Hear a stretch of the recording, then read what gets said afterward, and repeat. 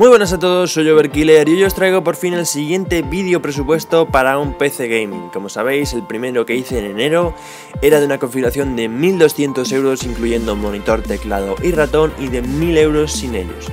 Esta vez, como estáis viendo, el precio tope eh, serán 800 euros, sin periféricos obviamente, y buscaremos el mejor rendimiento gráfico posible.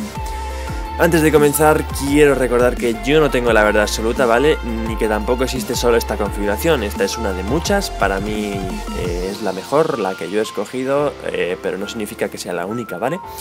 Y bueno, eh, también quiero deciros que no os estoy obligando a que os gastéis 800 euros en un ordenador, ni os estoy obligando a que os compréis estos componentes, que en el primer vídeo había mucha gente que pensaba esto, que yo la verdad me quedé bastante sorprendido, pero bueno, eh, no sé, eh, yo os lo digo para que por si acaso hay otra vez gente que me vuelve a, criticar con esto, ¿no? Yo no os estoy obligando a que os gastéis 800 euros, solo os estoy recomendando. Eh, nada más, es una recomendación, es una guía, es un... no sé, os estoy orientando nada más. Y bueno, otra cosa que quiero que tengáis en cuenta por favor es la fecha de este vídeo, porque como sabéis, aparte de que los precios cambian casi cada semana, eh, en el mundo del hardware eh, salen cosas eh, nuevas constantemente. Así que si esto lo estáis viendo en mayo o junio, por ejemplo, pues a lo mejor ya no sirve. Así que tener en cuenta estas cosas. Y nada, vamos a comenzar con la caja. Voy a seguir el mismo orden que en el primer presupuesto. Así que nada, empezamos. Como opción más económica he escogido la Zalman Z5 Plus, una caja que me ha sorprendido gratamente ya que parece bastante robusta y compacta y trae incluidos nada más y nada menos que tres ventiladores de 120 milímetros, uno en la parte frontal de la caja, otro en la parte posterior y otro en la superior, como podéis estar viendo ahí. En cuanto a las conexiones, la Zalman Z5 Plus incorpora en la parte frontal un puerto USB 3.0, dos puertos USB 2.0, jacks de audio y micrófono y un controlador de la velocidad de los ventiladores. La alternativa un poco más cara y obviamente de más calidad que he escogido es la Corsair 300R Carbide, una caja compacta también, elegante y sencilla, eh, la verdad que es bonita como podéis ver.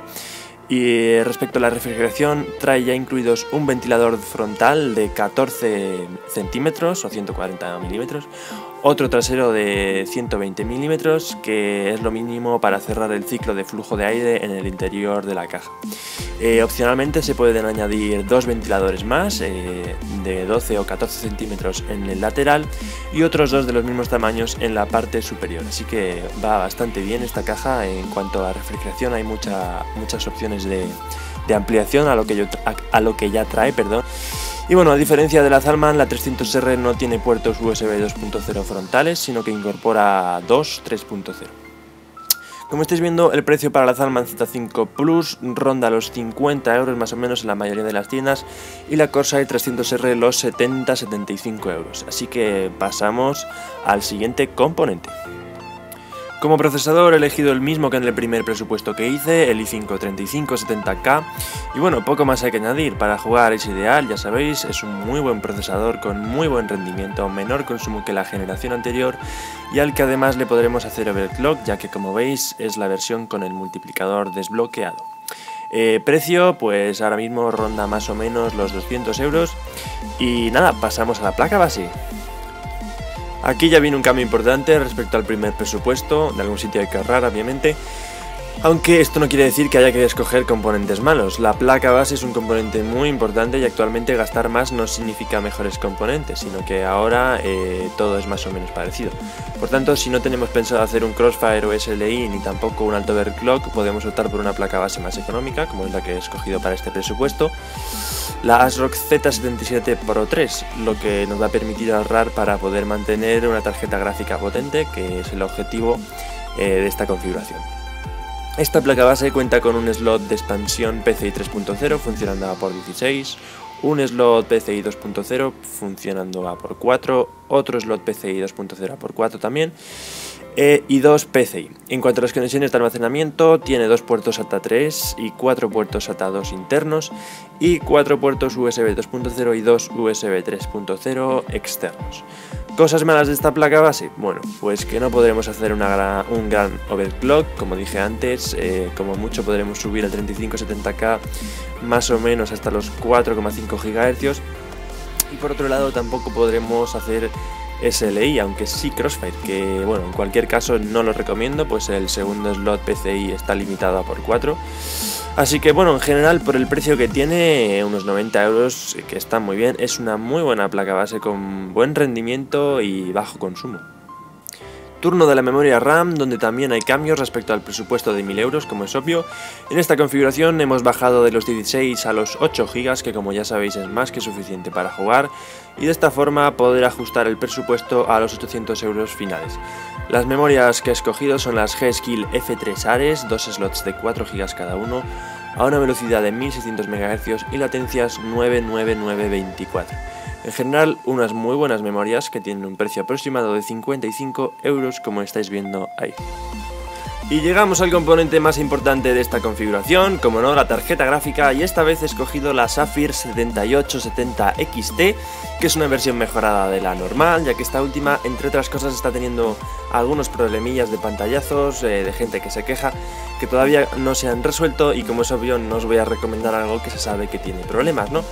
De todos modos, la diferencia de precio entre ambas es mínima. La 7870 XT eh, tiene un precio ahora mismo de 205 euros más o menos, frente a los 195 por ahí de, la versión normal. Eh, así que la, la, versión XT es mi recomendación y por tanto a pesar de contar con un presupuesto menor podéis ver que se puede mantener la misma potencia gráfica bajando un poco la calidad eso sí de otros componentes como la caja o la placa base y prescindiendo obviamente de, del SSD. ¿no? Si podéis gastaros algo más y queréis una tarjeta gráfica de gama más alta, pero sin dejaros un pastizal, os recomiendo la 7950, que la verdad que tiene una muy buena calidad-precio, ya que ronda los 260 euros más o menos, que para esa tarjeta gráfica que ya es bastante, bastante potente, eh, están muy bien. Así que nada, estas son las dos opciones. Si os queréis ajustar al presupuesto final de 800 euros, mi recomendación es la 7870 XT, acordaros de que sea esa versión. Y si en cambio queréis una tarjeta gráfica más potente y, podéis gastaros algo más en una gráfica, eh, os recomiendo la 7950 with Boost, que se me ha olvidado decirlo, bueno, eh, es la más barata creo, la versión with Boost, así que nada, pasamos ya a los últimos componentes. La fuente de alimentación, como ya sabéis, es otro componente muy importante y por eso en este presupuesto he decidido como primera opción la Corsair TX de 550 vatios, que es una fuente de más calidad que la anterior que os recomendé, siendo esta de gama más alta y además modular. Su precio es de aproximadamente 80 euros, como estáis pudiendo ver ahí, que sí que es cierto que es algo elevado, pero en mi opinión la verdad que merece la pena gastárselos en una buena fuente como esta. A pesar de todo, si queréis gastaros menos, tenéis la opción también de la Corsair CX de 500 vatios, que será suficiente también tanto para la 7870 XT como para la 7950. Pero insisto que mi recomendación para este presupuesto es la TX de 550 vatios. Vamos ya con el disipador, que en mi opinión es imprescindible ya que el que viene de serie es muy malo. Y aquí como veis no hay ningún cambio respecto al presupuesto de enero, dos opciones muy parecidas tanto en rendimiento como en precio. En primer lugar el Cooler Master Hyper 212 Evo que tiene un precio de unos 30 euros. Y por otro lado el Arctic Cooling Freezer i30 quizás un pelín mejor que cuesta aproximadamente 5 euros más. Y como os habréis dado cuenta, también hay algunos componentes como estos dos disipadores que a pesar de ser lo mismos que os recomendé en el presupuesto de enero, eh, ya han pasado más de dos meses, la verdad que siguen siendo los mejores calidad-precio. Y terminamos con el disco duro, aquí el SSD ya no tiene cabida, ya que lo que buscamos es un PC lo más potente gráficamente posible, por tanto prescindir del SSD a pesar de la gran diferencia de velocidad respecto a un disco duro mecánico, como visteis en el vídeo que hice, supone ya un ahorro de 100 euros. El disco duro que os recomiendo es el mismo que la vez anterior, el Seagate Barracuda de 1 tera, que nos servirá tanto para instalar el sistema operativo y los programas como también de unidad de almacenamiento.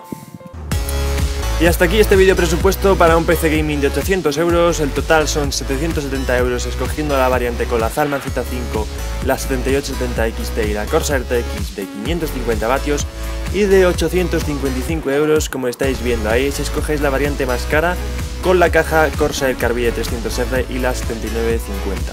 Espero que os haya gustado, que valoréis el trabajo que lleva a hacer este vídeo, que la verdad que es mucho y sobre todo que os ayude a tener una idea más clara de qué componentes comprar. ¿Dónde comprarlos? Bueno, pues yo os recomiendo que lo hagáis en una tienda online. En la descripción, como siempre, tenéis todas las tiendas que yo os recomiendo y también una breve opinión sobre ellas. Así que miradlo, lo tenéis ahí. Y por favor recordad también lo que os dije al principio, esto es lo que es, una recomendación, una guía y nada más, ¿vale? No pretendo obligar a nadie a nada y mucho menos a que os gastéis 800 euros en, en un PC. Así que nada, el próximo será de un presupuesto de 600 euros, también destinado a jugar, obviamente, que os prometo que voy a intentar sacarlo eh, antes que este, que reconozco que ha tardado, que este ha tardado más de lo que os había dicho. Así que bueno, por último terminaremos con una bestia parda de, no sé, 4.000 euros, por ejemplo. Nada más gente, un saludo a todos y en especial a Megalomaniac, votar, comentar y nos vemos en el próximo vídeo.